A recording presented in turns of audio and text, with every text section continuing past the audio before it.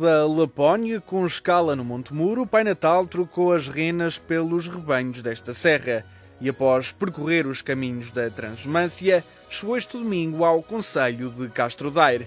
À sua espera estavam centenas de miúdos e graúdos que não quiseram perder a oportunidade de tirar uma foto e de pedir a prenda que mais desejam para esta época natalícia. Vitória, acabou de chegar aqui o Pai Natal a Castro Daire, não foi? Foi. E tu estavas a aguardar muito pela chegada dele? Gabriel, já tiveste a oportunidade de chegar ao pé do Pai Natal? Sim. E o que é que ele te disse? Olha, disse assim umas coisas. E tu também tiveste a oportunidade de falar e dizer aquilo que querias? Sim. Já lhe pediste alguma coisa para a noite de Natal? Sim. O que é que lhe pediste? Olha, eu ainda não falei, mas só que eu, vou... eu já escrevi a carta. E portaste bem? Portei. Mais ou menos. Foi. Porque escola primária e eu tenho que portar bem. Gostas que o Pai Natal venha aqui até Castro Daire? Gosto. Do que é que vocês gostaram mais? Foi quando ele passou ali e depois começou a vir. E vocês já tiveram a oportunidade de estar com ele? Já lhe fizeram algum pedido especial para a noite de Natal? Ainda não. Não. Então como é que vão resolver essa situação? Agora vão ter que escrever uma carta. Sim. É. E mandar por correio. Já conseguiste falar com o Pai Natal? Sim. Então e pediste-lhe alguma coisa para, para que ele traga neste Natal ou não? Sim. O que é que pediste? Uma prenda. Senhor Carlos, teve a oportunidade de trazer aqui o seu filho aqui ao Pai Natal, não foi? Foi, foi. Ele uh, pediu para vir cá. Perdeu, mas ele gosta pouco do Pai Natal. Tem medo. Acha bom este, tipo- este tipo de iniciativas aqui no Conselho? Acho, acho, acho que sim. Acho que foi uma coisa que estão a fazer bem para as crianças e, e é uma coisa que eles, para eles animarem, é uma coisa boa.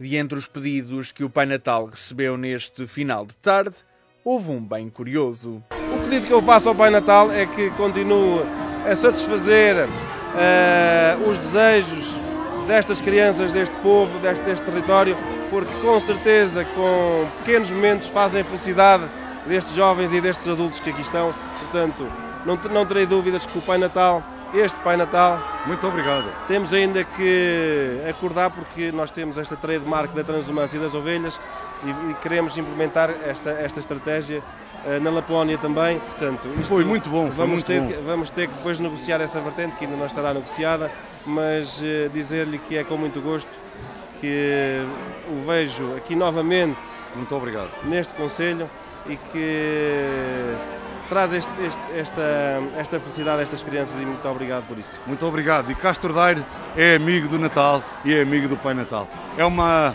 uma amizade que já dura alguns anos e viva Castro Daire e viva Natal. A chegada do Pai Natal ao Jardim da Vila de Castro Daire é uma de várias iniciativas que decorrem durante esta época festiva. Nós, nesta época de Natal, queremos transformar a Vila de Castro Daire e este Conselho um Conselho envolvido neste espírito e nesse aspecto criámos um conjunto de dinâmicas e de iniciativas que pretendem e têm como objetivo potenciar tudo aquilo que temos bom no Conselho.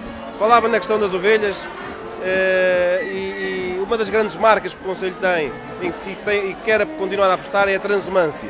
Não foi por acaso que este ano as ovelhas vieram a acompanhar o Pai Natal, precisamente porque queremos apostar naquilo que é uma marca do nosso Conselho e através destas iniciativas continuamos a apostar no desenvolvimento do nosso Conselho. Um dos destaques deste ano é a Rota dos Presépios, um total de 25 modelos preparados pelos séniores do Conselho no âmbito do projeto Mais Sénior, Mais Atividade, Mais Vida, ao qual se junta um de grandes dimensões produzido pelo grupo de escuteiros. É um projeto que decorre ao longo do ano com, com as, as- as associações, em que a Câmara desenvolveu um projeto chamado Academia Sénior Mais Vida, Mais Atividade e que está a decorrer eh, eh, nas aldeias, eh, nomeadamente nas associações. Eh, uma vez que se aproximava o Natal eh, e para enquadrar eh, a época natalícia, lançamos o desafio às associações de poderem construir o seu presépio. Daí ter nascido a chamada Rota dos Presépios eh, na vila de Castro Daire. Eh, Neste momento estamos aqui junto ao presépio elaborado pelos escuteiros, mas ao longo da vila, nas rotundas e noutros espaços, eh, estão os outros 25 presépios que de facto as academias, as associações desenvolveram. E pelo que eu também posso perceber, estes presépios não estão alocados num só sítio com o objetivo também de promover o comércio local. Claro, eh, daí o nome Rota dos Presépios, que é uma forma de facto quem nos visitar possa ao longo do, do traçado, não é, também poder eh, fazer as suas compras, não é? Eh, é uma forma também de motivar a compra, ao comércio. Até 23 de dezembro podem ainda visitar o Mercadinho de Natal, assistir a espetáculos participar em oficinas e andar no carrossel infantil. Eu queria só eh, aproveitar para convidar todos a visitarem Castro Daire. Visitem Castro Daire, visitem este magnífico conselho, aproveitem o nosso comércio local, desde o artesanato que está dentro desta tenda, como todo o, outro, o restante comércio ao longo desta vila e nas outras vilas do Conselho, terão muito, muito a ganhar se nos visitarem. Muito obrigado e voltem sempre. Obrigado e Feliz Natal! Esta reportagem contou com o apoio de município de Castro Daire.